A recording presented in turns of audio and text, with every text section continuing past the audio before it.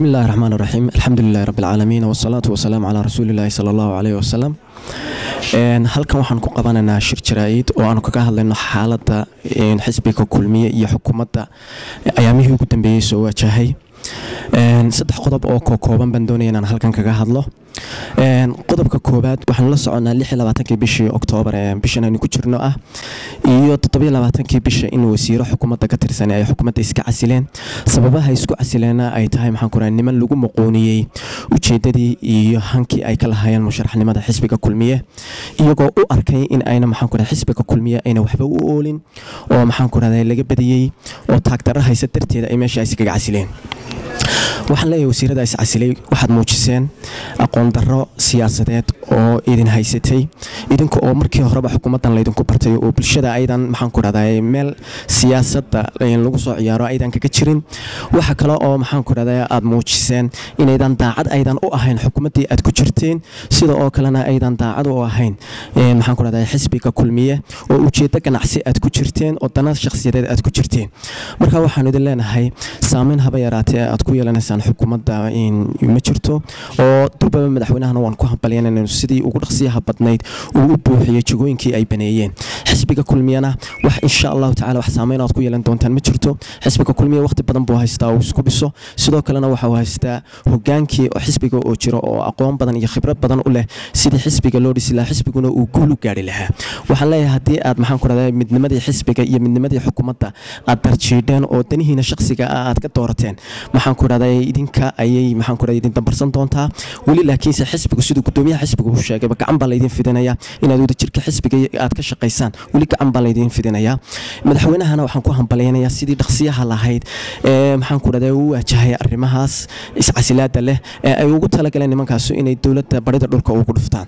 Dowladdu waa ka badbaaday. Marka madaxweynaha waxaan ku leenahay hambalyo waan kugu hambalyana waan ku garab taaganahay. Xisbiga kulmiyana oo uu ka musharax yahay gudoomiyaha xisbiga kulmiya muuse biixi cabdi mar walba garab iyo gaashaan baanu ahayn. Wixii aanu sheegi jirnay aanu ummadda u sheegi jirnay aanu xukuumadda u sheegi jirnay ee ahayd in xukuumadda iyo xisbiga tushuushka ku dhex jira. Sidii looga saari lahaa looga saaro unbay maantana ay noqotay in looga saaray. Waanan ku hambalyeynanaa in maanta xisbigii iyo xukuumaddiiba ay mid noqdeen. Hal ujeedana noqdeen waana guul bay ku gaaraysaa xukuumadda iyo xisbiguba. Ishaysashada iyo wadajirka iyo maxaan ku raha dhan wada jeesada maanta uu wada jeestay shacbigana waxaan leenahay waxa ugu muhiimsan ee ugu qaalisan ee aynu haysanaa. Marka laga taga islaamnimada waxa weeyaan nabadda weeye.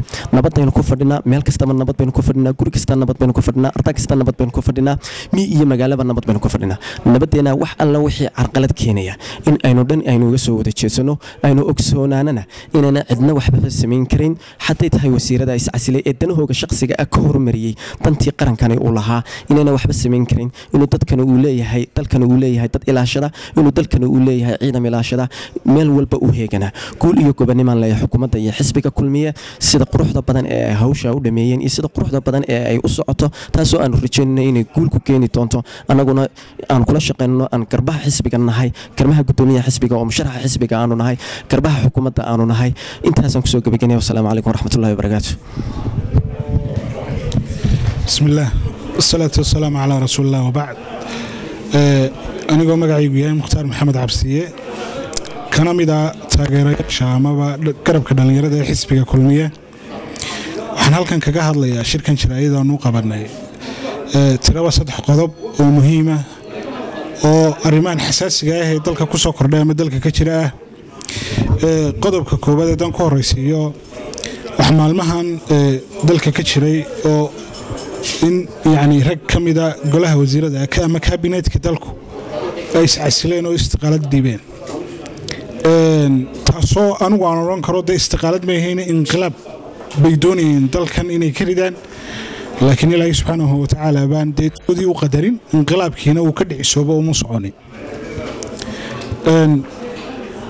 waxaa dhacday madaxweyne axmed maxamed maxamuud siilaanyo in uu yacni arrinkii markii ay nimankaasi sameeyeen inqilaabkii nimankaasi markay sameeyeen inuu go'aan geesinimo leh oo kudhac leh oo khibrad leh oo khabiir iyo experiencnimo ah inuu madaxweynuhu ka qaatay. Aad iyo aad iyo aad iyo aad baan madaxweynaha u hambalyaynayaa madaxweyne waxaan leeyahay sidii ku habboonayd baad yeesho waad asiibtay. In nimankaasi yacni aan dalkan iyo dadkani waxba u noqonayn tageenna yacni markii horeba aanu u arkayno annagu haddaanu dhallinyaradii xisbiga nahay. Rag dalkan u soo shaqo tegay laakiin aan dalka iyo dadka u shaqaynayn inay ahaayeen. Markay akoonnada ay faaruqiyeen xukunkii iyo xukuumaddii mudane madaxweyne kaloo kaabineetka cusub amaba golaha wasiirada ee cusub ee aad dalka iyo dadka u soo xushay amaba aad soo cugatay aad iyo aad baad madaxweyne u asiibtay. Waanu kugu hambalyaynaynaa waxaan ku leenahay madaxweyne. Yacni nimankan aad iminka keentay waxaan filayaa biidni illaahi tacaala aan boqolkiiba boqol kalsoon qabaa inay yihiin kuwii dalkan iyo dadkan u shaqayn lahaa. Insha allahu tacaala aanay ahayn kuwii ka shaqaysan lahaa. Waxaan qabaa inay nimadoodii iyo kartidoodii leeyihiin. Waanu soo boorsanay waanu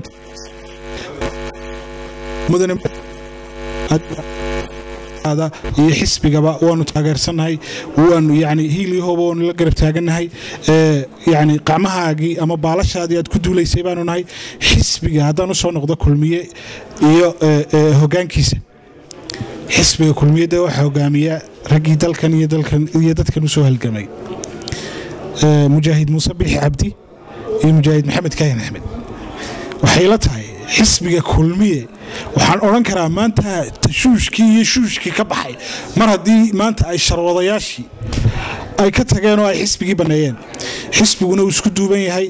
Waa mid madaxweynaha koley waxaa igu maqaalaa inaanu cid weli cid gooniya inaanu taageerin ama aada saboorin madaxweynaha waxaanu ka codsanaynaa inuu raggaa dalka iyo dadka u soo duurka ugu jiray inuu taageero hiil iyo hooba la garab istaago. Annaguna haddaanu dhallinyaradii xisbiga nahay waxaanu taageeray hiil iyo hooba la garab taaganna mujaahidiinta xisbiga u soo halgamay iyagaanu annagu garabkooda nahay iyagaanu garbahooda nahay iyagaanu baalashooda nahay. Weliba murashaxa mujaahid muuse bixi cabdi waanu taageersannahay boqolkiiba waanu ku taageersannahay annagaa garabkaaga taagan dalkan iyo dadkanina uma baahna wax carqaladeeyo amnigooda iyo nabadgelyadooda.